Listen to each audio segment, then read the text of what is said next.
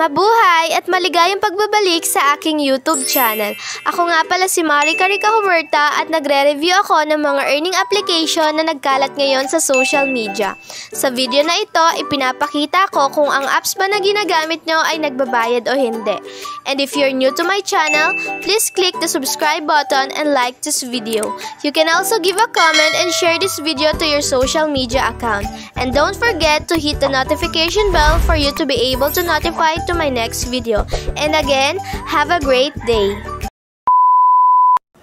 Hey guys! Welcome back again to my YouTube channel. Nagbabalik na po ako for another reviews. And for today, ang i-review ko na application is Super Pinball.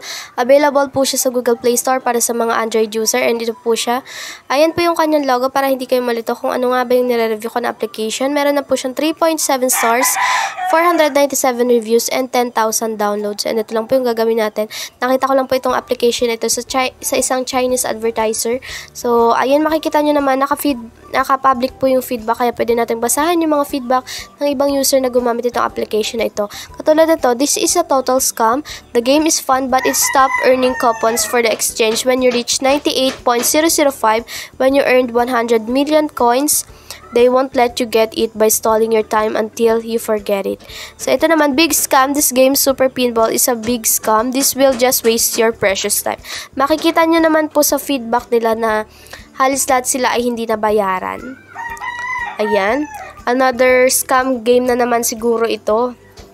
So, ayun, kung mapapansin nyo, kaya mas madami akong um, nare-review na scam game kasi yun po yung uh, kailangan natin eh. Marami po kasi ang naghahanap ng mga nagtatanong kung yung mga ginagamit ba nila na application na katulad nito is scam ba o hindi. Ayun. So, ayan, hit the yellow obstacle and get token. So, yun yung gagawin natin. Okay? Tapos, ayan. And, uh, punta na po agad tayo dito sa uh, mode of payment. Kapag wala pong lumabas sa mode of payments, payment sa inyo, wala na po yun. Wala na po tayo magagawa doon. So, marami kang pagpipilian. Dito po, through PayPal po siya. Ayan. So, kailangan natin makaipon ng green notes, 100 coupons, tsaka 100 million tokens redeem. So, yun po yung kailangan nating iponin para makapag-withdraw po tayo through PayPal. And meron din po sila ditong fragments or yung uh, iPhone na pwede daw tayo makakuha ng iPhone dito. Kailangan mo lang mangolekta ng uh, fragments niya. So, ang gagawin nyo lang dito is, um, paano ba to? Hold ball. Ayan. So, ganun lang. Ito, ito, i-swipe nyo yan dyan. Tapos, ayan yung mangyayari. Tama yung sinabi dun sa feedback. Na, ayun na nga. Tap the screen, ayan. Tap to hold launch. Ayan yung ganyan yung gagawin nyo. Tapos, ayan yung mangyayari. Ayan. So, ganyan po yung mangyayari. Ang iipunin nyo po dito sa tokens nito is 100 million. Dito naman is 100 uh, pieces yata yon. So, click natin ulit. So, 100 coupons yung mangyayari dyan. Dyan. So, ayan, ang mangyayari dito, hindi ko na i-reach yung minimum withdrawal or yung kung paano tayo makakapag-cash out. Kasi dito pa lang sa application na to, malalaman mo na ito yung not paying din. Lalo na dun sa mga uh, feedback ng user na gumamit itong application na to doon sa Google Play Store na nabasa natin. And di, kung makikita nyo pa lang, ayan. Dito pa lang, malabo na natin makuha yan. And talagang may stock tayo sa ganyan. And unang-una is, meron pa silang pa-promo na iPhone 13 Pro. mag-collect lang daw tayo nito. Collect all fragments 50 ganyan. Makakuha daw tayo dyan ng iPhone 13 Pro. Which is yan po yung mga uh, tactic ng mga developer ng application.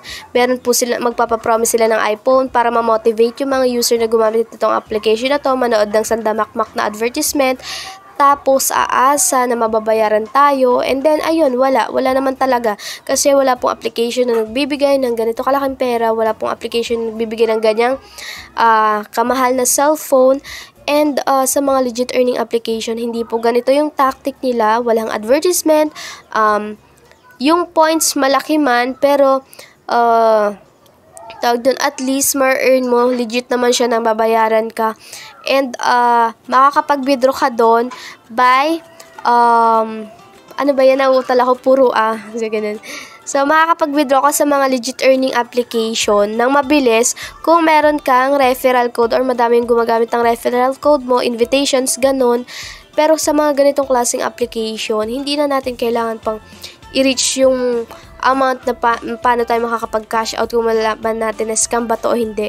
Kasi guys, huwag nating payamanin yung mga developer na application na to dahil ayun na nga sila po yung magmas benefits dito sa uh, application na to at hindi tayo. Yan po yung isa sa mga rason kung bakit sila gumagawa ng ganito klaseng uh, game na kumikita daw tayo nakikita daw tayo ng pera kahit hindi naman. Yan po yung reason nila. Sila po ang yayaman, hindi po tayo. Kaya yun guys, kung meron po kayong application na ganito and uh, tinatry nyo pa rin laruin, ma-reach yung minimum amount, is wag nyo na pong pakaasahan kasi nga ito ay not paying. Ayon dito ko na tinatapos tong video na to. And kung gusto nyo tong video na to, huwag nyo kalimutan mag-subscribe, like this video, share, and hit the notification bell para ma-notify kayo sa susunod ko pang mga video.